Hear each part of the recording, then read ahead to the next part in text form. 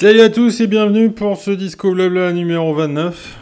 Voilà, ça va, être, ça va être la rentrée pour vous là. Hein il fait encore chaud quand j'enregistre. Et là ça sent les, chaussures qui grincent, hein, les trousses neuves, hein, les cartouches d'encre et les cartables. Voilà, je crois que j'ai Madame Martinez en maths. bon, on démarre, enfin on continue dans les R, on avait fait Rage Enfin, j'avais fait parce que vous, vous aviez rien fait, je trouve. Hein. Je dis on, hein, je dis nous, mais non, hein, c'est moi qui me suis tout mangé. Bon, Rage, euh, donc euh, sur euh, la dernière émission, donc on enchaîne forcément avec Rage Against the Machine, yeah, avec le gars qui crame. c'est un cadeau, c'est un, un, cadeau d'un copain qui se débarrassait de CD en fait. Il m'a dit il y a des trucs qui t'intéressent. Je dis ouais, ok, je te prends le Rage Against the Machine parce que c'est un album que je déteste. Voilà, donc c'est une bonne raison de, le vouloir. En fait, euh, voilà, quand Rage Against the Machine est, apparu euh, dans les années 90, est-ce qu'il y a l'année là 92 si mes, yeux doivent me trahir, donc vous me pardonnerez. Euh, j'ai détesté ça parce que j'aime pas le groove, j'aime pas le rap.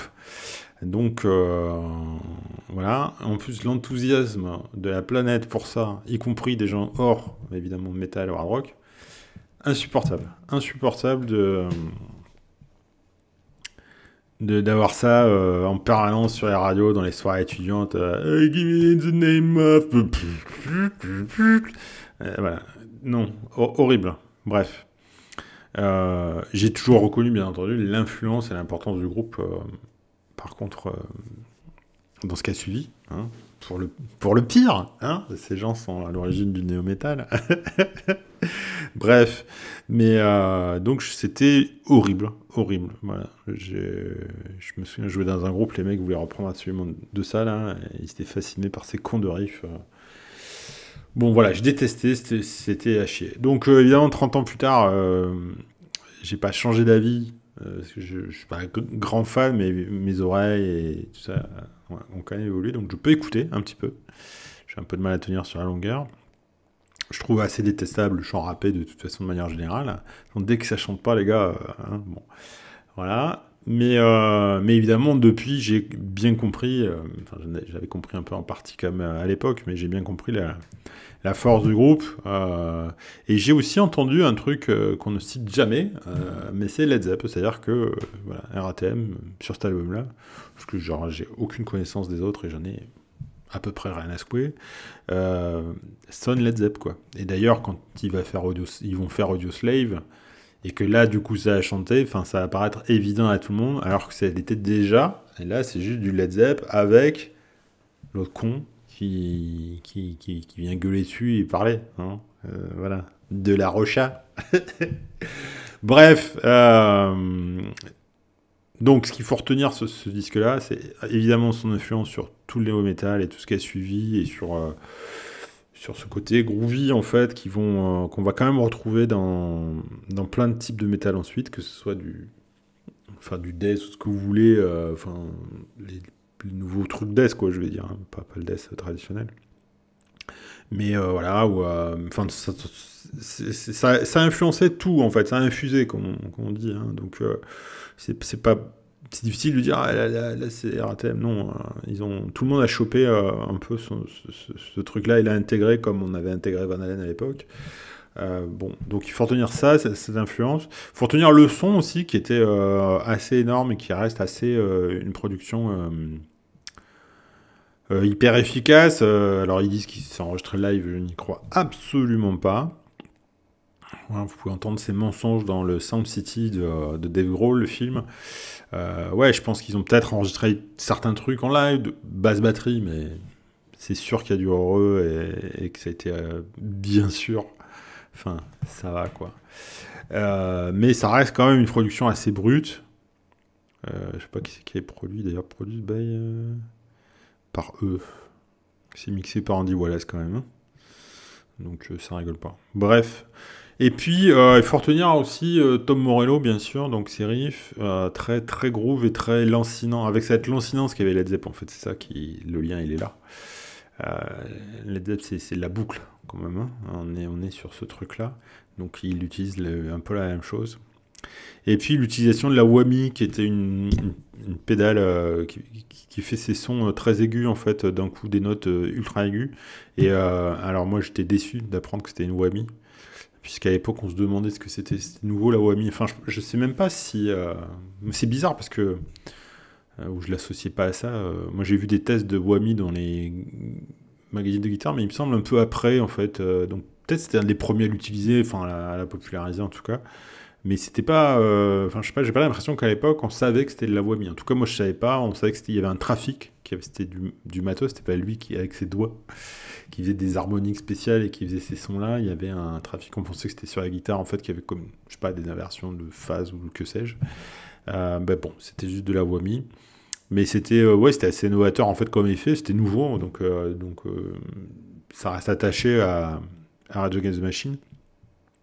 Après, Steve a utilisé, Metallica l'a utilisé sur la chanson qu'ils ont faite avec The Memory Remains, ce machin là, avec la vieille. oh là là. C'est pas bien de ne pas se souvenir des noms, hein, mais vous avez compris.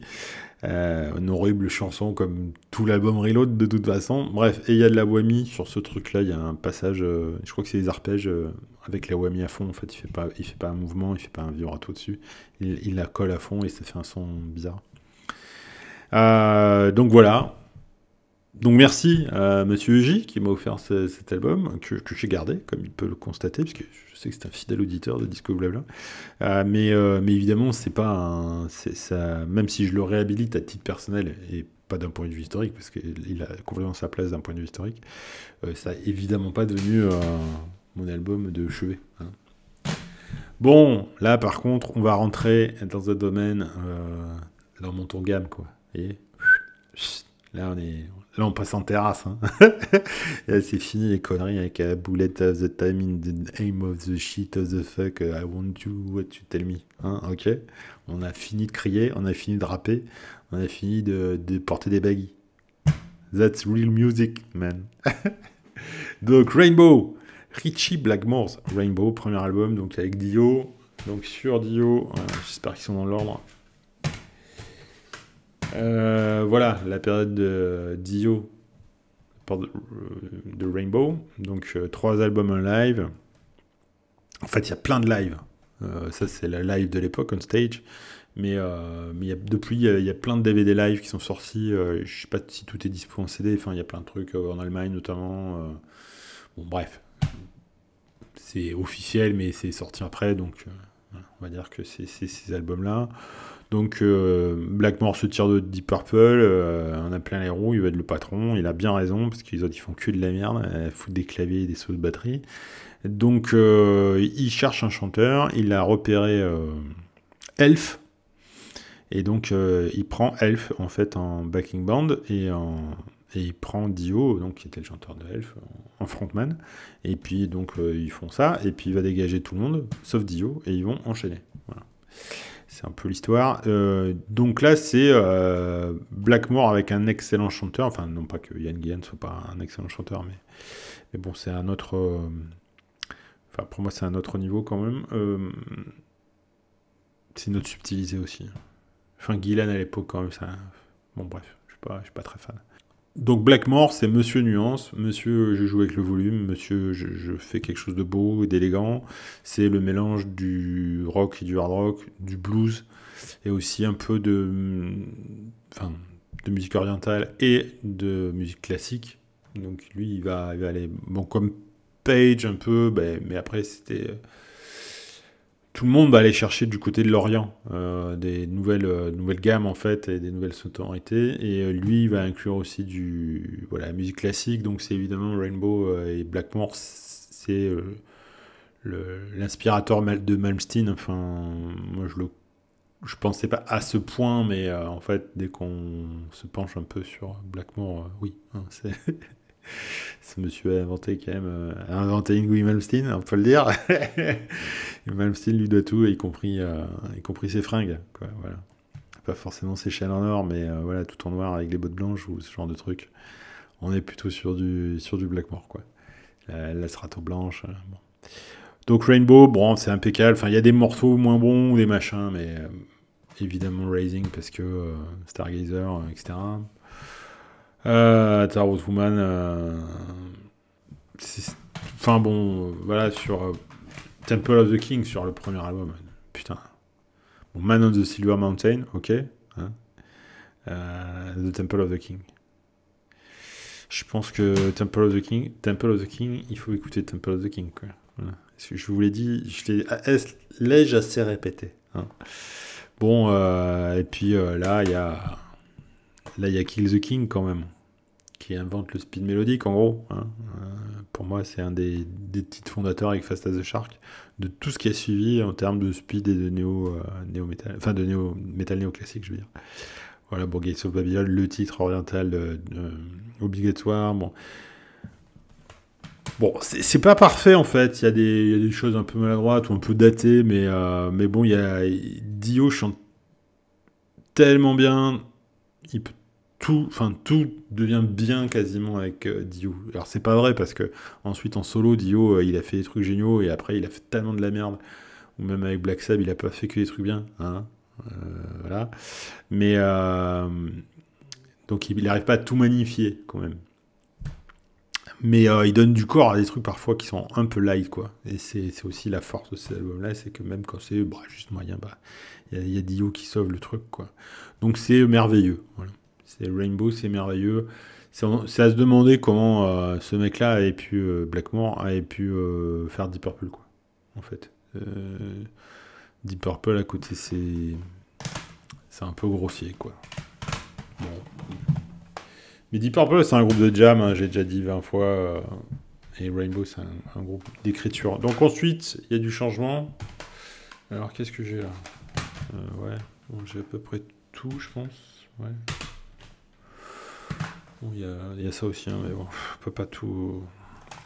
Alors, euh, donc là, Down to Earth, excellent album orienté euh, arduès à mort, avec euh, Graham Bonnet au chant, l'hystérique Graham Bonnet. Enfin, passer de Dio à Graham Bonnet, c'est. Enfin, c'est un personnage ce Bonnet quand même. Moi, je sais pas, je sais pas trop sa vie, tout ça, ce qu'il a fait. Enfin, j'ai écouté quelques trucs, mais il a joué dans, dans, MSG, je crois. Il a fait un petit passage dans MSG, me semble-t-il. Euh, enfin bon, il a fait des allers-retours à droite à gauche sur des, sur des projets comme ça. Mais il a fait des albums solo c'est un chanteur super, euh, super tendu. On a l'impression qu'il va se péter la voix à chaque fois qu'il monte. Ah oui, il a fait des albums euh, avec Alcatraz, évidemment. Enfin, l'album avec euh, notamment Malmsteen, No Power for, for Rock and Roll, qui est excellent. bon. Ouais, moi j'aime bien le côté rupture en fait qui est dans bonnet, c'est-à-dire il monte, il monte, il monte dans les aigus, on se dit mais là c'est un peu comme Sami Hagar en fait, on se dit mais là il va lâcher, enfin il va pas y arriver. En fait s'il y arrive, il se, alors par contre en live il n'y arrive pas toujours. Hein. J'ai eu des, trucs d'Alcatraz où il est la ramasse, mais euh, c'est triste. Bah, bon, après, euh, quand on veut escalader l'Everest à chaque fois, hein, forcément, à un moment donné, on, glisse hein, sur une bouse de yak. voilà. Bref, donc euh, vraiment un album US génial, Down to Earth. Et ensuite, bah, ensuite il n'y a plus Graham Bonnet, on passe sur Jolene Turner, merci, qu'on va retrouver chez Malmsteen lui aussi euh, sur l'album euh, fabuleux Odyssey, où il va faire un album de Rainbow, hein, évidemment. Euh, donc Jolene Turner, qui est un chanteur qui est assez bon en fait, qui peut, avec une voix voilée comme ça, un peu assez agréable, et, il va faire les trois albums un peu en demi-teinte, c'est-à-dire c'est euh, il y a des trucs super, hein, Death Alley Driver, euh, euh, Stone Cold, ouais, voilà, mais il y en a d'autres que j'oublie. Peut-être c'est sur sur celui parce que je les confonds un peu. Voilà, Spotlight Kids, ah, bon, I Surrender évidemment. il y, a plein de trucs très sympas. Alors évidemment, enfin, il faut que j'arrête de dire. Évidemment, je connais moins bien Final Vinyl et et But Out of Shape enfin Final Vinyl et Bent Out of Shape. Euh, ça c'est plutôt une compile en fait de trucs. De, live. Euh, donc je, les connais moins bien, mais, euh, mais c'est vraiment, enfin je sais pas, c'est le groupe de toute façon que tous les... Pas que tout le monde pompe en fait, voilà, en néoclassique, en hard un peu tradi, en hard metal un peu tradi, c'est ça qui est, qui est pompé. Voilà, c'est un groupe dont j'ai l'intégrale, puisque j'ai même L'album ensuite de la reformation avec euh, Doogie White, qui est euh, tout à fait euh, tout à fait honnête. Voilà. Qui, sans être du génie pur, s'inscrit dans, une bonne moyenne de, Rainbow. Enfin, c'est toujours assez qualité. Il y a toujours cette élégance dans, dans Rainbow. Blackmore, c'est un mec d'un point de vue guitaristique qui est super élégant, quoi. Enfin, c'est vraiment, il y a un phrasé, c'est. Après, il fait de la merde en live. Il part dans des impros chiantes, voilà, parce qu'il a un ego euh, long comme un CMB, hein. Mais euh, voilà, enfin, trop d'ego Guitare 76, bon, c'est mort. On sait qu'en live, il va, il va casser les couilles à tout le monde. Même s'il peut avoir évidemment des fulgurances, hein, c'est le propre des, grands improvisateurs et des, grands guitaristes. Mais euh, sur album, voilà, c'est toujours euh, très contrôlé. Il y a évidemment euh, un autre album de Rainbow qui est Slave and Master de Deep Purple, qui est en fait un album de Rainbow, puisqu'il y a Johnny Turner au chant et, et Blackmore à la main dessus quasiment. Enfin, ça s'entend. Enfin, je pense qu'il a eu un peu plus de contrôle sur Slave Master. Et qui est très très élégant, Slave Master aussi. Bon, Rainbow les gars, il hein, faut s'y mettre. Alors un petit machin. Raven, Raven, euh, groupe donc euh, de la New Bomb, enfin je dis New Bomb, je sais pas comment les gens disent, New Wave of British Heavy Metal, des contemporains de j'allais dire de saxon, enfin non, peut-être pas de saxon quand même, mais plutôt Tokyo Blade, etc., qui, faisait ce qu'ils appelaient un athletic rock. Donc c'était un, un, hard heavy euh, très très dynamique, avec une, voix aiguë un peu vraiment pénible. donc il y a deux frangins, les frères Gallagher, euh, comme dans Oasis qui gère euh, Raven. Et donc, c'était voilà, un groupe euh, qui a plutôt de bonne réputation en D2, hein, dans la D2 anglaise de, cette époque-là. Et ils ont euh, petit à petit, donc, je ne me souviens plus des. Voilà, le, des plus connus, c'était All for One. Et ensuite, je crois que c'est parti Stay Hard. Ils ont commencé à faire, à aller un peu vers du US, hein, comme beaucoup de groupes, parce qu'il fallait vendre. Ils se sont dit peut-être qu'on va peut-être pouvoir en vendre, ça serait pas mal. Donc ils ont fait euh, des, tentatives. Et The Pack is Back c'est le truc le plus, euh, le plus commercial qu'ils ont tenté. C'est l'album décrié hein, de, Raven. Et c'est évidemment mon préféré. Parce que là bon il y a quelques claviers et surtout il y a des cuivres. Donc ce qui est assez inattendu. Donc c'est vraiment mélangé à ce, truc assez fun quand même et dynamique de, Raven. Moins hystérique moins euh, moins purement métal, euh, screaming metal, quoi. Hein, parce qu'ils avaient quand même ce côté-là. Euh, donc c'est un, peu plus chanson, un peu plus commercial, mais putain, il y a quand même de la, un peu de folie euh, hyper active. Hyper active, quoi. There's no acceleration. Voilà, il y a une reprise de. Elle est où? Elle est où la reprise? Oui, Gimme Some Lovin', putain. Voilà, The Pack is Back, c'est une tuerie. Bon, c'est vraiment un très très chouette album, assez original en fait, parce que c'est cuivre, euh, c'est la façon d'utiliser les cuivres et c'est marrant parce que euh, le, côté saxo, euh, film porno ou érotique des années 80, c'est chiant, hein, d'ailleurs straight, mais, mais les cuivres, d'ailleurs le saxo, je crois que c'est pas un cuivre, je crois que c'est un bois. Mais bon, les vrais cuivres, c'est-à-dire trombone, trompette, voilà, c'est super péchu, enfin, dans le gros funk euh, ou dans, la vraie, enfin la, la, vraiment dynamique, les cuivres, c'est voilà, ce qui amène le, vraiment la pêche, et etc. Et là, c'est un peu utilisé comme ça, donc c'est c'est pas fondamentalement métal les cuivres, au-delà de la matière, mais euh, mais je trouve que ça passe bien. Enfin, c'est pas pas con comme mélange. Ça se ça se réfléchit d'ailleurs. Euh, les mecs comme David Lee Ross vont employer les cuivres pour parce que lui c'est son côté son côté euh, Las Vegas, quoi, mais, euh, mais c'est pas. Bon, euh, deux salles, deux ambiances, hein. The Resistance, Scars. C'est un des premiers trucs, peut-être, de. Enfin, ce qui m'a. Alors, c'est un groupe où il y a. Je me trompe pas, c'est lui? Putain, j'ai. Où c'est lui? Non, c'est lui, putain, je suis con. Jasper Stromblad, guitariste d'In Flames que j'aime beaucoup et qui est venu, qui a monté des résistances. Alors il y a Marco, je crois que c'est lui là, qui s'appelle. Lui, il était dans The Haunted. Je suis pas de conneries, hein, mais il me semble bien. Bref, on est chez les pas rigolos, quoi. Hein. Et The Resistance, c'est un retour au death metal suédois. Un petit peu mélo euh, sur des breaks et des solos parce que euh, Monsieur In Flames, quoi. Donc il y a les harmonies et tout ça, euh, vraiment classe. Mais sinon, ça envoie du lourd. Hein. C'est, du death, voilà, entre Entombed, les premiers Entombed, hein, j'entends, ou ce, genre de truc, quoi. Du pur, du pur Dismember, voilà avec le son, le fameux son de la HM, avec tout à fond, hein, la pédale tout à fond. Donc The Resistance, j'ai, euh, ils ont, je crois qu'il y avait un EP avant, et euh, ensuite euh, bah, Stromblad parce que ce monsieur boit beaucoup. Il a été éjecté du groupe et bah, du coup moi j'ai été éjecté des, du public parce que parce que sinon c'est que du death suédois quoi. Sans Stromblad on perd, enfin ils ont perdu un truc. Donc c'est vraiment dommage. Qu'est-ce qu'on a là? Oh putain. Revolution Renaissance. Alors, si vous avez lu le dossier que j'avais consacré à Timo Tolki dans le bouquin, euh, voilà, Revolution Renaissance, Trinity. Donc, c'était le projet de Tolki euh, suite à son euh, un de ses projets en fait, suite à son départ de Strato. Je sais plus qui c'est qui chante dessus. Bon, moi, c'est l'album que j'aime bien de Revolution Renaissance.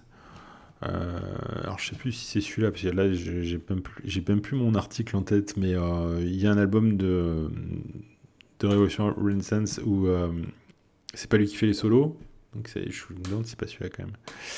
Et où c'est le producteur qui a fait tous les trucs. Bon, lui a démenti. Et, c'est vrai que enfin, moi, quand je l'ai su, je me suis dit comment je, ne m'en suis pas aperçu. C'était évident que c'est pas lui qui joue. Mais ça reste un, un honnête speed mélodique, quoi. Voilà. Euh, les chanteurs sont toujours un peu limites dans Revolution Renaissance. Euh, je crois qu'ils ont changé. Il y avait eu que ce truc là et euh, je sais pas qui c'est là. Je sais pas si c'est marqué. C'est des mecs qui sont voilà Timotoki guitare peut-être. Voilà Gus Monsanto. C'est des mecs qui sont limites au niveau du chant quoi. Ils sont un peu faux tout le temps. Magnus Rosen, c'est pas non s'il a pas joué dans Merfall. Euh, je sais pas qui c'est, on s'en fout. Bon, bref, donc euh, donc c'est pas foufou, mais euh, bon, dans, dans la carrière de Revolution Renaissance, c'est peut-être le meilleur. Et puis, euh, bon, moi j'aime bien Tolkien. C'est un album mineur, évidemment, hein, je pense que vous l'aurez compris. On continue dans les mineurs, les mineurs de fond. Rhapsody Dawn of Victory, donc c'est le seul Rhapsody que j'ai, c'est le plus, entre guillemets, violent, le plus sombre. C'est leur Empire contre-attaque de l'époque. Voilà, bon, je l'écoute très très peu. Euh, il y a des bons trucs dessus. Euh, Thunder Force, hein. Holy Thunder Force. C'est un groupe que j'ai détesté de toute façon, Rhapsody. Euh, je déteste à peu près tout ce qu'ils ont fait. Celui-là était pas mal. Turili, j'avais dit, j'ai un album que j'adorais qui était Prophet of the Last Eclipse. Mais bon, voilà. honnêtement, j'écoute jamais. Ça, devrait être en. Enfin, il faudrait que je le réécoute, mais ça pourrait être un peu aléatoire. Euh, je sais pas si je vais terminer avec ça, mais euh, voilà. Par contre, là, on est euh, chez mes chouchous. Alors, le groupe qui a reçu le prix des pires pochettes du monde, hein, je pense. Est-ce qu'on peut faire ça comme ça? Ouais, on va faire ça comme ça. Donc, première période du groupe, Riot, donc groupe américain qui a démarré fin 70, ça, ça va être du 78, je pense. 77, première sortie. Donc ça date, hein, Riot, quoi. Hein. Euh, donc avec un phoque, un homme à tête de phoque euh, sur la pochette. Ça c'est bon, c'est la faute de bon goût, hein, c'est la phoque de bon goût. Peu importe. Euh, au-delà des pires pochettes, donc un groupe qui va s'extraire des 70s, qui va passer de d'un hard rock, d'un hard rock and roll, on va dire, avec vraiment des fragrances 70s, et qui va aller vers le métal le plus speed en fait. Alors, il y a déjà des, tempos, des tempos rapides sur les, albums. En fait, plus on avance, plus c'est hard et plus c'est rapide. Mais, euh, mais, mais voilà, sur Rock City ou Narita, on a encore aussi un côté un peu californien, un peu US parfois sur des, morceaux. Enfin, c'est assez, assez, sympa. Il y a des super instrumentales hein, sur Narita, bien sûr. Le live le plus l'un des lives les plus bruts que je connaisse. Enfin là c'est du pur live hein. ça rigole pas avec euh, l'arsène les trucs approximatifs le son euh, Roots de chez Roots mais euh, c'est voilà si vous voulez entendre un vrai groupe en live c'est Riot Live qui fait écouter. Et sur ces albums là c'est le premier chanteur donc Guy Speranza qui est mort depuis que j'adore voilà, j'ai du mal à expliquer, euh, voilà, ça me touche quoi. Il y a une urgence dans sa voix, il y a un, désespoir en même temps qu'une colère. Enfin, je sais pas trop l'expliquer, mais moi ça, voilà, ça va direct. Donc moi quand il chante euh, Warrior sur euh, Rock City ou, ou voilà, sur Dante Tequila bien sûr, Outlaw, bon, Don't Hold Back. moi ça, ça me ça me noue, quoi. Hein. Mais euh, voilà, pour le, reste des êtres humains, hein, c'est du super hard rock un peu speed, euh, enfin qui va vers un truc de plus en plus rapide. Donc ça, c'est voilà la première euh, période du groupe. Guy Speranza va se casser, ils vont le remplacer par, alors ouais, Red Forester qui va rentrer Restless Breed et un autre truc qui s'appelle, je sais plus, America, je sais pas quoi, que j'ai pas, qui est pas bien. Déjà Restless Breed, c'est pas bien. Je l'ai gardé euh, parce qu'il y a CIA dessus, qui est peut-être un autre titre pas mal, mais franchement. Puis le, son est plus, est plus petit, il n'y a pas le côté sauvage en fait. Il y avait un côté sauvage dans les. Dans Riot qui est vraiment vraiment bien sur la première période, c'est ce côté d'urgence, c'est ce que Speranza euh, euh, renforce en fait avec sa voix comme ça, et puis c'est la prod mais euh, et que Red Forrester a pas, moi je suis désolé. Euh, bon, Forrester il est mort aussi. Hein. là il y a beaucoup de morts. Hein. Mark le, patron, il est mort. Et il me semble que euh, je sais plus si c'est Lemming ou, Ventura qui sont morts, hein. qui est mort. Bref, donc voilà pour la première période du groupe. C'est un tout petit groupe US, mais enfin moi c'est un, ouais c'est un chouchou. Enfin voilà, Fire Down Under. si vous, voulez en tester un, c'est celui-là qu'il faut tester. J'allais dire c'est celui où il y a le phoque dessus, mais ça marche pas. Euh, donc euh, voilà. Et ensuite, le groupe s'est reformé euh, dans les années. Enfin, est ressorti à la fin des années 80, donc ça va être en 87 ou 88, avec Thunder Steel, qui est un faux album de speed mélodique, mais de speed metal, c'est assez sûr. Donc ultra rapide. Mark Reel est toujours là. par contre, il s'est entouré avec donc un chanteur qui s'appelle Tony Moore, qui est ultra aigu. Voilà. Euh, et euh, il a Bobby Jarzonbeck à, la batterie, qui est un, mec issu du trash, en fait. Donc euh, c'était assez étonnant de le voir s'associer à ce mec-là. Et ils ont sorti donc Thundersteel, qui est devenu vraiment un album référencé les cultes maintenant, et qui devient un, album copié, en fait, qui parle un peu tout le monde dans le monde du, du heavy speed du speed metal et du, de, de revival qu'on entend, c'est vraiment un album référentiel. Je dis que c'est pas un album de speed mélodique parce qu'il n'emprunte pas avec Janssen Co. Donc ça reste du métal rapide et mélodique, mais c'est pas le speed mélodique allemand en fait. Euh, les, les, les, mélodies sont pas à ce type-là. C'est pour ça que je distingue. Euh, euh, je, dis ça, voilà. Mais euh, bon, c'est excellent euh, de bout en bout, même les balades sont bien, enfin, c'est vraiment, vraiment impressionnant. Même équipe ensuite a sorti The Privilege of Power, qui est un, album concept un peu bizarre, beaucoup moins réussi. Il y a quelques titres qui tuent, notamment Marianne, qui est une sorte de truc à la Boston en fait. Il y a des. Mais souvent, voilà, le refrain est raté, et après ça part un peu n'importe comment. Bon. C'est vraiment, vraiment dommage. Donc ensuite, le Tony Moore s'est cassé. Ils ont fait une palanquée d'albums euh, assez médiocre en fait de heavy, euh, un peu euh, médiocre au sens moyen quoi, au sens quelconque du terme. Donc j'avais acheté Nightbreaker des trucs comme ça ou The Long Breath and House, un truc comme ça avec les Indiens. Bon, moi ça m'ennuie, voilà. C'est pas, il n'y avait pas, pas cette furie en fait speed, speed metal qu'il y avait là. Donc euh, Riot, j'avais arrêté. Et puis, avec Immortal Soul, euh, Tony Moore est de retour. Donc ça, c'était super cool. Et l'album, là, c'est une vraie tuerie. C'est-à-dire, c'est un Thunder Steel 2.